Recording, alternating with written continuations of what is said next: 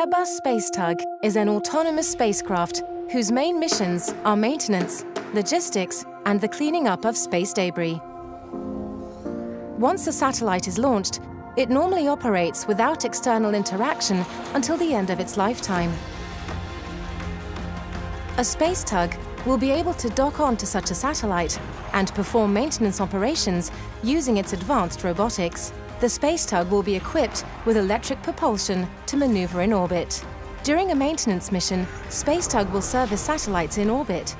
The space tug will be able to extend a satellite's life by saving its fuel or even refueling it in orbit. In the future, satellites will be designed for an upgrade in orbit, relying on the space tug's ability to replace individual payload modules.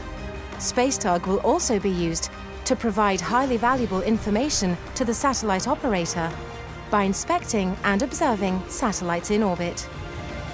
In short, Airbus Space Tug introduces reusability in space, even for satellites that are not designed for in-space rendezvous.